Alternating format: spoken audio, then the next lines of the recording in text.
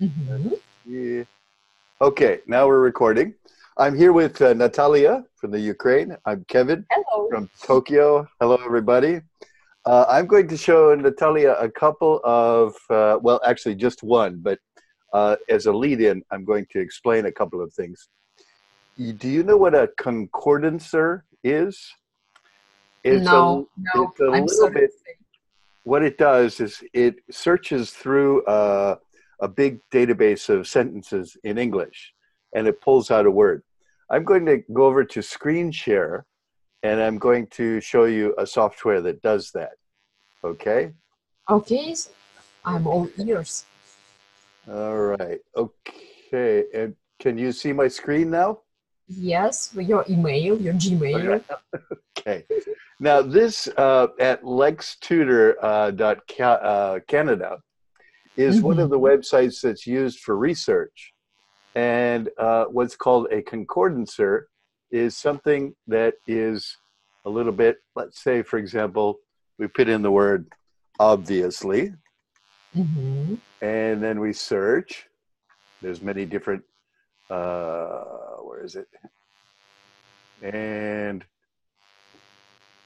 get concordance. There we go. Can you see this very well? Do I need to make it? Yes, the video is very nice. Thank you. Okay.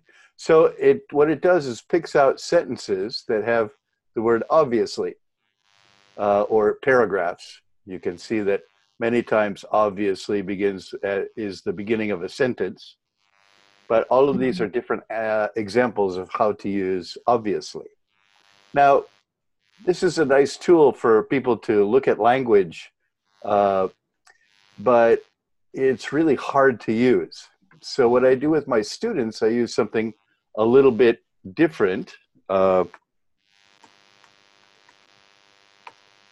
obviously, The resource. yes. And let me make that a little bit bigger so it's easier to see. No, yeah, I, I have, uh, yes, that's okay. Okay. I see it, but I don't understand. It's another resource. Yes? Yes, this is another score. is called uh, Sketch Engine, Mm-hmm. uh, and it's called Skell. mm-hmm. And if you look on Google, you can find that.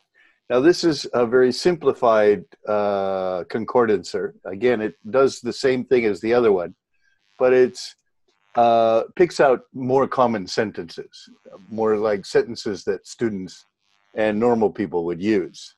Mm-hmm. So you can see the different uses of obviously in there, for example. Now, the tool that I wanted to show you is actually what it does is the same thing this does for text as for video.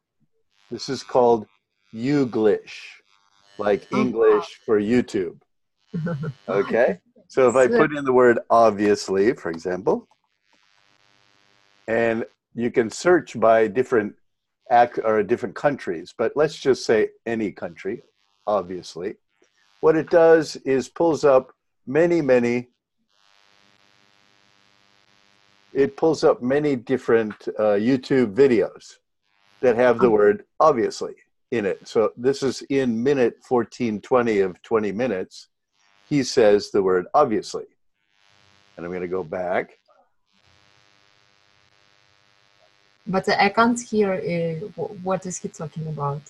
Uh, that's the thing. You can, you're in the middle of a speech, so you don't know very well. You can listen longer if you like, but Uh-huh. you can. The best. I, I don't I don't uh, hear him at all. that's right. Oh, let me let me try one more here.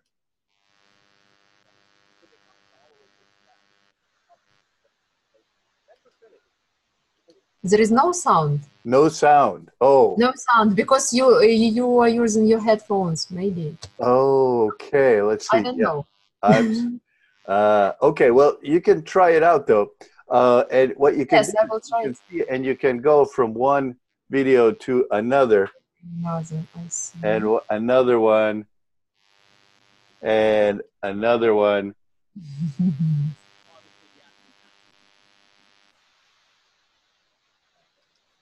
Okay, I'm sorry it didn't come through in the demonstration, but yeah, the you can listen as well, and then of course you can go back five seconds or go uh, repeat the the same thing. Uh, and you can see many different ways each word is used. So, in essence, you get two tools. You can do something a little bit more like poker face. You know poker face? No, I don't. That's when you're playing poker and you have a Uh-huh. really good hand or a really bad hand, you want to keep a very straight face. Ah, yes. That's I called see. poker face. So not to read my face, yeah. it's the opposite of your face, yes. You do not have a very good poker face. Okay? So he's Yes. trying to put on his poker face.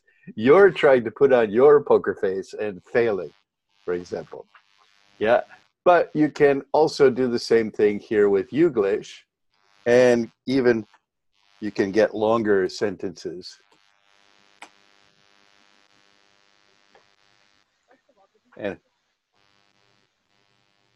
and again, I'm sorry you can't hear that, but uh, that's the tool.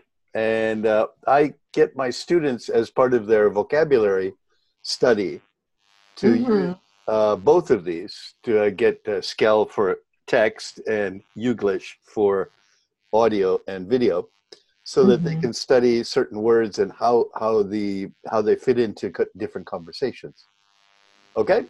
Yes, very useful, very interesting tool because thank you. Thank you so much for your presentation. I didn't know about the resource. Okay, good.